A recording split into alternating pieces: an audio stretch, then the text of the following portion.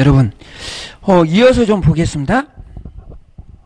그래서 우리가 보시면 이제 353페이지인데요.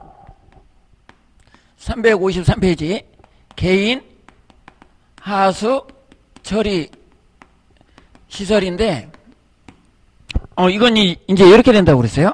우리가 이제 상수도 이 본관에서 이렇게 뭐 지하저수조 이렇게 해서 우리가 이제 그 아파트에서 이렇게 사용을 하고 사용한 물을 이렇게 내놓았을 때 이게 이제 그 이렇게 처리하는 시설을 우리가 개인 하수 처리 시설 이렇게 얘기를 했습니다. 그래서 요거를 이제 방류를 해야 되는데 방류를 하기 전에 우리가 이거를 처리를 좀 해야 된단 말이에요. 여기 여기 너무나 이제 그 예를 들어서 이 상태가 그냥 방류를 하면 너무 상태가 안 좋으니까 우리가 이제 그 이 강물이나 이런 데로 갔을 때 문제가 없게 이렇게 그 처리를 해야 된다. 그럼 이렇게 모아놓는 거지. 우리가 우리가 정화조도 있을 수 있고, 음.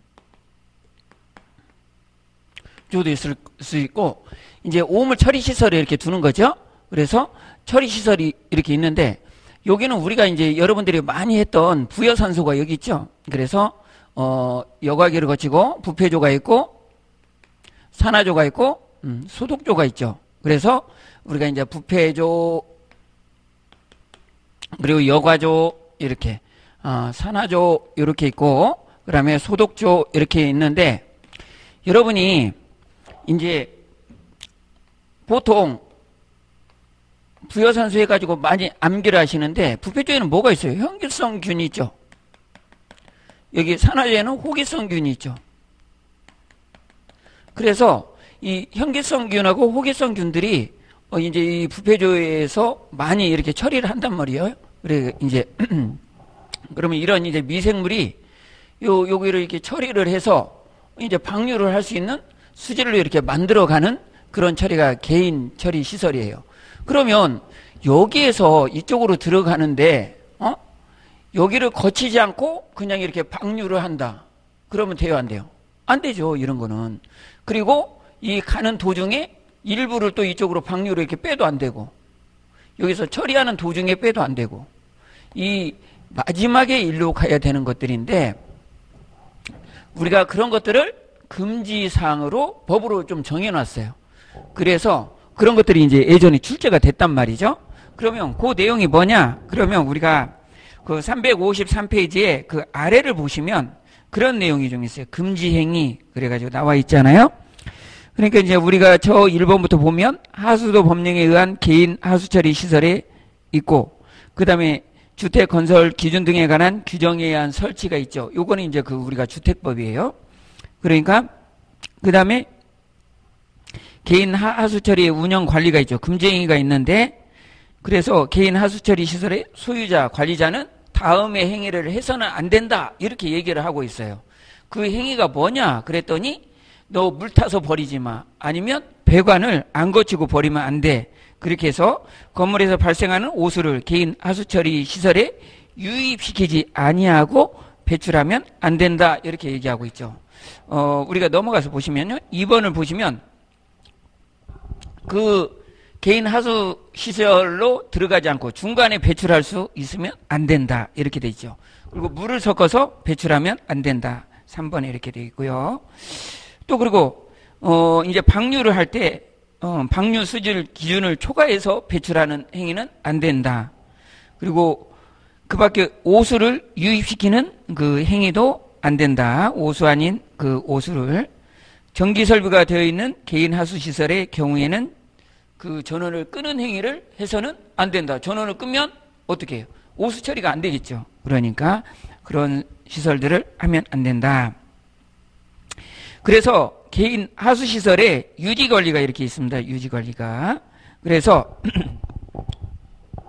이 개인 하수 시설은 우리가 얼마 1년에 몇 번 정도 이렇게 청소를 해라. 1년에 몇 번. 1년에 한 번 이상 음, 청소를 해야 한다. 그런데 우리가 이제 여기에서 이거하고 비교해서요. 저수조가 있어요. 저수조. 저수조는 1년에 몇 번 이상 청소를 해야 돼요? 우리가 두 번 이상 어, 청소를 해야 되죠? 그러니까 분기별로 6개월에 한 번 뭐 이렇게 해서 연 2회, 어, 2회 청소를 해야 되죠. 그러면 빗물 저유조가 있어요. 빗물. 어. 우리가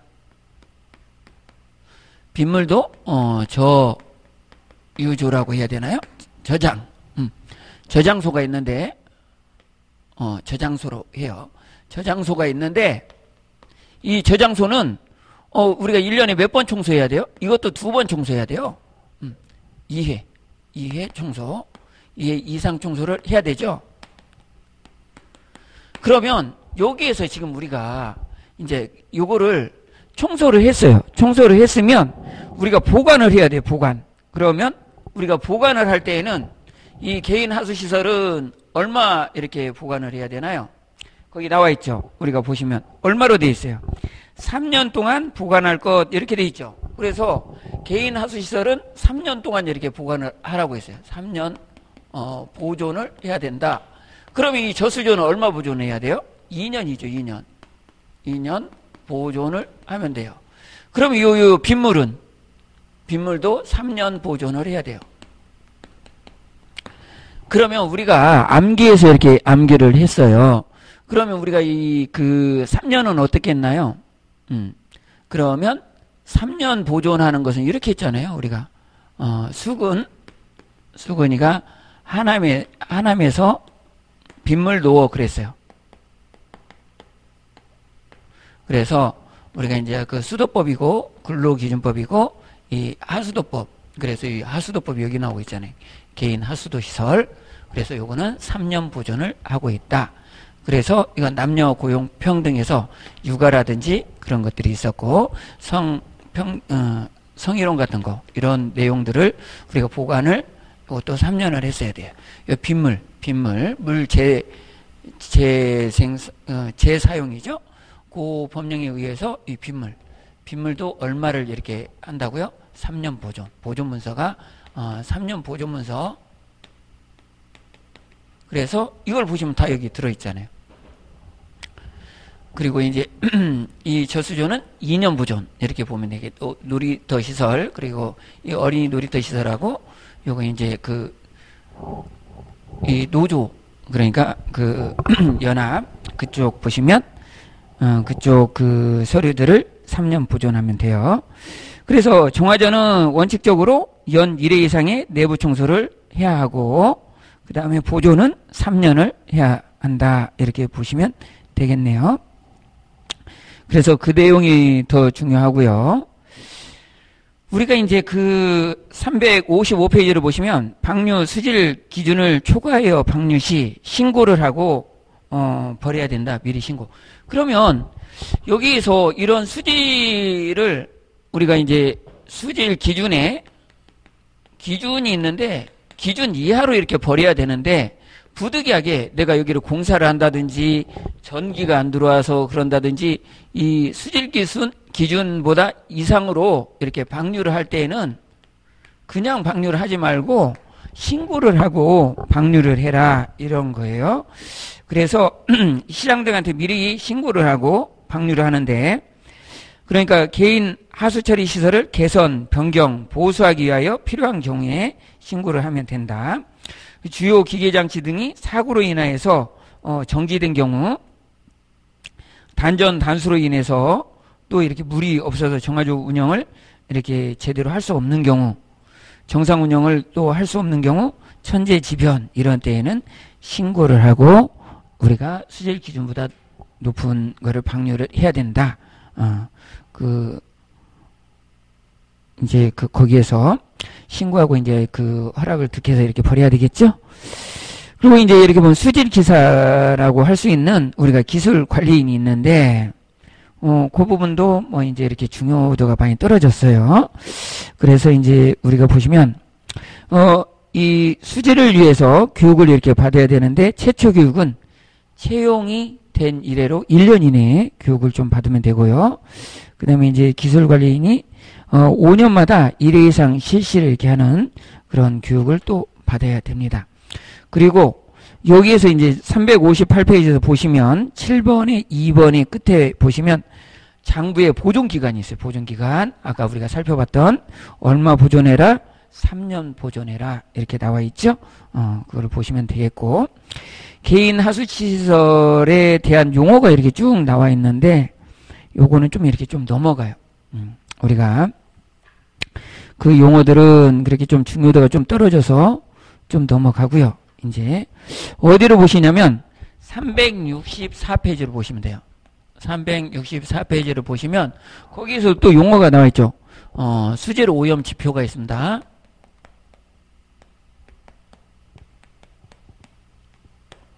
어, 그래서 이 수질 오염 지표를 보시면 제일 먼저 뭐가 있냐면 우리가 BOD가 있죠. BOD. 우리가 이제 이 뭐 바이오 뭐 오거니제이션 뭐 이렇게 아니 그 이렇게 나가잖아요. 그래서 이렇게 보시면 바이오니까 뭐예요? 이게 생이잖아요. 생. 살아있다라는 뜻이잖아요.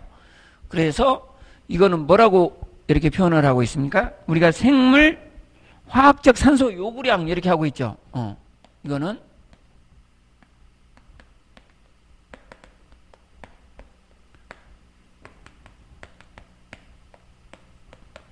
이 생물 화학적 산소 요구량인데 이걸 BOD라고 하는데 이건 뭐예요? 생물이라는 것은 뭐가 살아있는 게 있대. 그럼 뭐가 살아있어요? 미생물이 살아있어요. 그러니까 이 물이 지금 예를 들어서 좀 오염이 됐는데 이 미생물이 정화를 시킨다 이거예요. 그 정화시킬 때 필요하로 하는 산소 요구량이 얼마나 되느냐 이렇게 조사하는 것이 뭐다? BOD다. 이런 뜻이에요.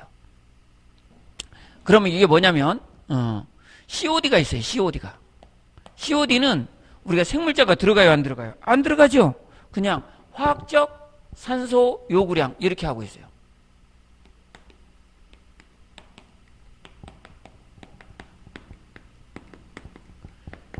여기에서 생이 빠졌잖아요. 생이 빠졌으니까 대신에 이제 케미컬이 들어갔겠죠.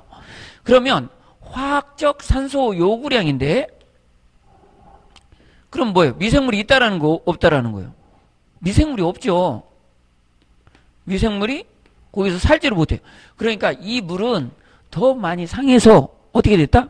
미생물도 살 수 없는 그런 상태의 물이다. 그러니까 그거를 정화시키기 위해서 어떻게? 화학적으로 우리가 이제 거기에다 화학적인 화학제를 넣는 거예요. 그러니까 약품을 넣어서 그 약품으로 이제 요거를 정화를 시키는데 물을 정화시켜요. 정화를 시키는데 화학적으로 해도 거기에서 산소가 필요하더라. 그래서 산소 요구량을 측정해 보는 것이 우리가 COD예요. 필요한 산소량을 나타내는 거. 그게 우리가 COD다. 이렇게 보시면 되겠네요.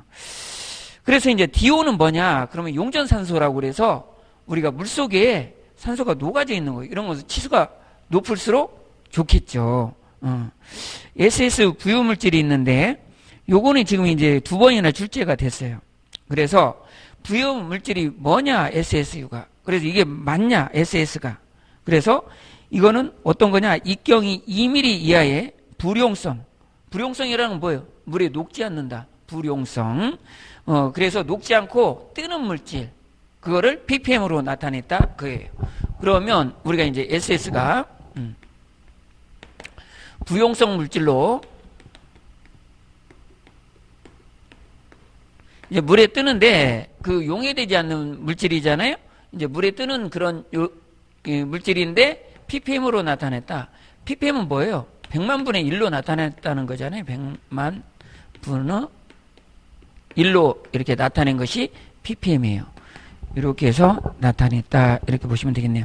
스컴이라는 것은 정화존의 오수 표면 위에 떠오르는 오물 찌꺼기를 얘기하고 어, 활성온이는 퍽기조 내에서 용해되어 있는 유기물과 반응하여 세포가 증식되는 솜 모양의 미생물 덩어리를 얘기를 합니다. 그러면 이 활성온이는 온이가 뭐냐면 우리가 이 예를 들어서 변이 있잖아요. 덩어리들 변을 얘가 정화시키는 거예요. 그래서 활성 온이가 다 정화를 시키는 건데 그 우리가 이제 개인 하수 처리 시설이 중요도가 좀 떨어져서 우리가 안 보는 거죠. 그리고 이제 그 아래로 가시면 BOD 제거율이 있어요. 그래서 우리가 이제 이것도 뭐 심심치 않게 나오죠. 어, BOD 제거율이 있는데 이 제거율은 어떻게 하느냐? 그러면 BOD, 유입 BOD가 있죠. 그래서 그래서 유입 BOD 분의 여기서 유입 BOD 마이너스 우리가 유출 BOD가 있죠. 그러면 유출 BOD 곱하기 이제 우리가 백분율로 나타내니까 100% 이렇게 하면 BOD 제거율이 되는 거예요. 그러면 요걸 이제 계산하라고 이렇게 나오지 이걸 뭐 그 산식으로 이렇게 물어보는 거는 아주 옛날에 이렇게 물어봤던 시험들에서 그렇게 하는 거죠. 지금은 이거 이제 그 문제로 이렇게 그 내는 거죠. 우리가 이제 여기서 이렇게 부여산소로 이렇게 지나간다면 여기에서 이렇게 들어오고 여기에서 이렇게 나가죠. 그러면 여기 이제 BOD가 이렇게 섞여서 이제 여기에서는 유입수 BOD가 이렇게 있죠. 그러면 여기는 유출수 BOD가 있을 거예요. 그러면 이 유입수에서 우리가 그 얼마가 들어왔냐 그랬더니 200이 들어왔다고 그래봐요. BOD 200인 상태에서 어, 들어왔어요. 그러면 우리가 유입수 BOD가 200 이렇게 적으면 되죠. 그럼 유출수 BOD는 얼만데? 그러면 여기도 200. 유출수 BOD는 여기에서 정화가 반절 정도 됐더라. 그래서 여기 나가는 게 100이라고 하면 여기 100을 넣겠죠. 그럼 뭐 200이 100이면 또 200분의 1이니까 얼마가 나요?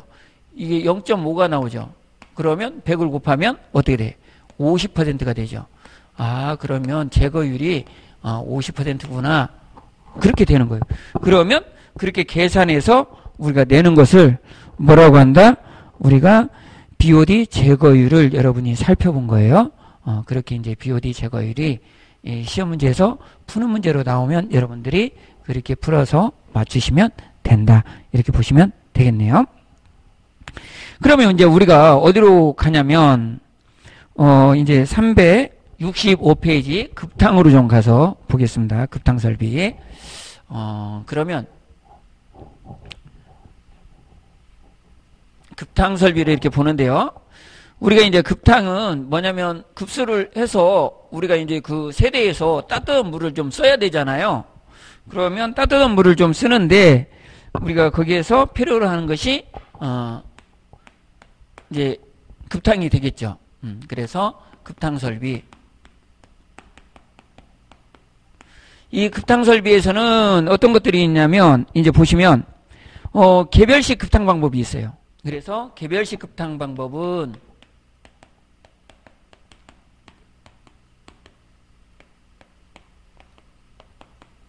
우리가 어떤 거가 있어? 우리가 잘 아는 여러분들이 잘 아는 순간 온수기가 있죠. 우리가 이제 순간 온수기는 여러분들이 시설에서 많이 봤을 거고 그 다음에 이제 그 어, 이거를 직접 가열을 이렇게 해서 이렇게 만드는 건데 우리가 벤츄리관도 이렇게 나오고 그런 거잖아요. 그러면 순간 온수기는 우리가 주로 어디에서 많이 쓰나요? 이발소나 뭐그 미장원 같은 데서 많이 쓰고 있잖아요. 어, 그게 이제 순간 온수기라고 보시면 되겠고, 그 다음에 우리가 저탕형 온수기, 뭐 이런 것을 보실 수가 있어요. 그래서 저탕형 탕비기, 이렇게 볼 수가 있는데, 요건 어떤 거냐면, 이렇게 이제 여러분들이 요것도 좀 많이 이렇게 보셨어요. 그래서 이렇게 수도꼭지가 이렇게 있고, 어, 이렇게 있으면, 여기가 이렇게 다이얼처럼 있어요. 어, 온도를 좀 조절하는 서모스탯이죠.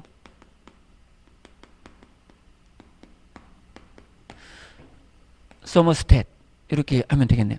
그러면 여기에서 수도꼭지가 있어서 이렇게 물이 여기서 이렇게 하면 우리가 어떻게 했냐면 여기서 컵라면 같은 거 이렇게 받아 먹었어요. 그럼 이게 어디 있냐면 뭐 이제 그 편의점 같은 데 가면 물을 데펴 놓는 그런 것들이 뭐냐면 저탕형 탕비기예요. 그러면 이제 서머스탯이 있어서 온도를 조정해서 이걸 어떻게 해요? 거의 끓는 물을 만들 수도 있잖아요. 어 그런 거고 지금 이거를 어 뭐 10배 아니면 뭐 한뭐 뭐 100배 이렇게 키워 놓으면 그게 뭐냐면 저탕형 탕비기가 되는 거예요. 그렇게 해서 뭐 샤워를 할 때 샤워기 쭉 해서 이렇게 연결을 해 놓고 여기 부스에서 물이 이렇게 나오게 하면 이게 바로 이제 저탕형 탕비기 원리는 저렇게 됩니다. 그래서 여기에는 온도 조절기가 필요하다. 서머스탯이라고 하는 어, 온도 조절기 이가 어, 필요하다 이렇게 보시면 되겠네요. 그리고 우리가 보는 그 기수 혼합식이 있어요. 음. 기수 혼합식 탕비기가 있는데 이건 뭐냐면 이렇게 이제 물이 이렇게 있다면 여기에다가 어, 뜨거운 증기를 이렇게 몰아 넣는 거예요. 여기 물이 이렇게 있는데 그러면 증기가 일로 막 나오면서 물을 데펴버리죠. 여기 이제 거품은 일어나겠지만 어, 그러면 이거는 열 효율이 어, 가장 좋아요. 이렇게 여기서 보면 어, 열 효율이 부, 이렇게 잃어버리는 열이 없이 어, 효율을 여기에서 다 이렇게 발휘를 하는 거죠. 그래서 굉장히 따뜻한 온수를 금방 만들 수가 있다. 이런 것들이 이제 개별식 급탕 방법이 되겠습니다. 그 다음에 이제 우리가 뭐가 있냐면 이제 중앙식 급탕 방법이 있겠죠.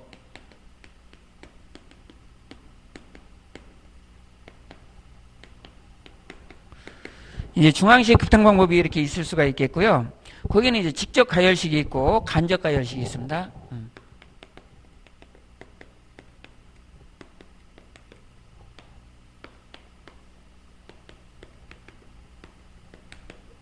그러니까 우리가 보시면 이제 그 직접 가열식이 있고 간접 가열식이 있다 이렇게 보실 수가 있는데 이제 이 특징들이 있죠.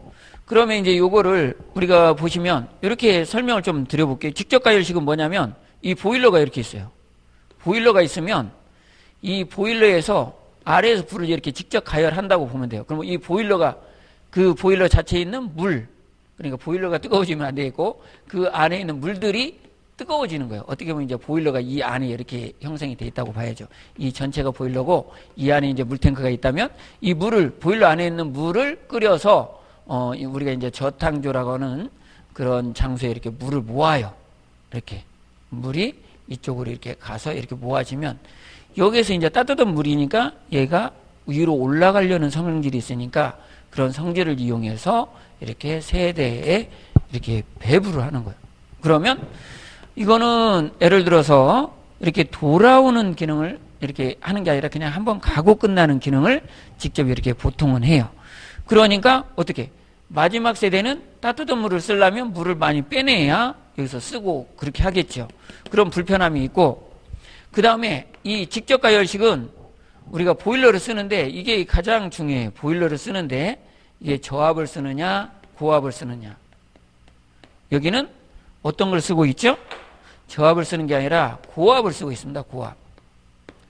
이거는 대형에서 쓰겠어요? 소형에서 쓰겠어요? 이건 소형에서 써요. 소형. 그러니까 조금 쓰는데 그런 데서 쓰고 있고요. 그 다음에 이제 이 간접가열식은 어떻게 되냐면 여기에서 이렇게 보일러가 이렇게 있습니다. 보일러. 보일러가 있으면 여기가 이제 저탕조가 이렇게 있어요. 그러면 이렇게 코일이 가서 이렇게 어, 보일러에서 따뜻한 물을 일로 보내서 이 저탕주를 데피고 이렇게 나와요. 그러니까 여기에서는 물이 이렇게 가서 또 이제 이렇게 세대에 공급을 하겠죠. 이렇게 공급을 쫙 하고 반탕이 돼서 다시 일로 돌아와요. 이렇게. 그러면 따뜻한 물이 또 이쪽으로 이렇게 쭉 가서 이렇게 이렇게 도는 거를 우리가 이제 간접식 가열식이라고 이렇게 할 수가 있고요. 그러면 이 보일러에서 시험에 잘 나오는 건 어떤 거예요? 이거는 주로 이 대형에서 쓰겠죠. 대형. 어, 좀큰 곳에서 이렇게 써요. 대형. 그리고 이건 보일러가 이건 어떻게 해요? 저압이에요? 고, 고압이에요? 이건 저압이에요. 저압. 그러니까 여기에서 아니 대형이면 물을 보내려면 이 고압을 써야 되지 않느냐? 이렇게 하는데 그래서 많이 틀려요. 어, 이건 저압이다. 왜? 이건 어, 오히려 직접 가열식이 보일러 고압을 써야 된다. 왜요? 왜? 그럼 봐봐요. 보일러에서 가는 거리를 따져봐요. 야가 더 많이 가요? 아니면 야가 많이 가요? A, B. 그러면 이거는 이제 1번이 많이 가요? 2번이 많이 가요? 이 보일러에서 나가는 힘이 1번이 더 워낙 먼 거리를 가야 돼요. 그렇죠. 여기는 2번은 봐보세요. 간접가 열식은 이 짧은 거리만 돌고 나오면 돼요. 그러니까 간접가 열식은 이 저탕조가 가까운 데 있으니까 여기만 돌고 나오면 되니까 저압이어도 상관이 없고 저 직접가 열식은 멀리 가서 물을 이렇게 제공을 해줘야 되니까 고압이어야 된단 말이에요. 그거보다. 그래서 고압이 돼요. 그러니까 이런 게 헷갈릴만 하니까 많이 물어본단 말이에요. 그래서 여러분이 어, 구분을 잘 하셔야 된다 이렇게 생각이 듭니다. 음.